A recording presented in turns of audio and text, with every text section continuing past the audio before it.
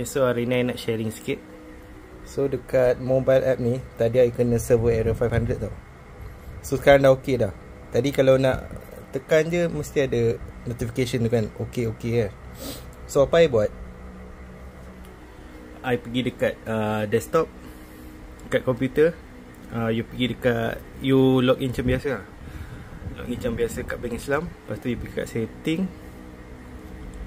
uh, Lepas tu you pergi kat sini Transaction limit maintenance. Okay so you tukar lah mana-mana So I tukar yang ni Prepaid reload ni. I tukar dalam 300 kan? Uh, Eh 300 tak boleh. Dia 200 lah. Kena tengok limit juga. Uh, Contoh lah 200 You tekan change. Tekan change ni Nanti akan you akan dapat Eh nanti you akan dapat yang verification tu kan. Cakap confirm kan. Dekat sini Tekan confirm tu you, uh, Lepas tu dah ok dah. Uh, Tu je lah. So air tadi pun panik jugalah Daripada semalam tak boleh kan. Uh. So macam tu je lah. Pergi dekat setting Tadi kan. Setting atas ni de Dekat mana tadi? Uh, Transaction limit maintenance. Uh. Lepas tu you buat je lah. Uh, uh, Seminit je siap.